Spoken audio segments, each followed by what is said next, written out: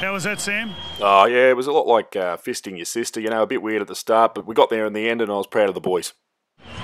I'm not sure if I've got a second question. Oh, no need for a second question, Freddie. Just let me uh, give a shout out to all the Queensland supporters. Uh, you're all fuckwits. Uh, I'm a fuckwit, and the 13 blokes wearing maroon on the field tonight, uh, we're all fuckwits too. So it's great being from Queensland and great being a fuckwit.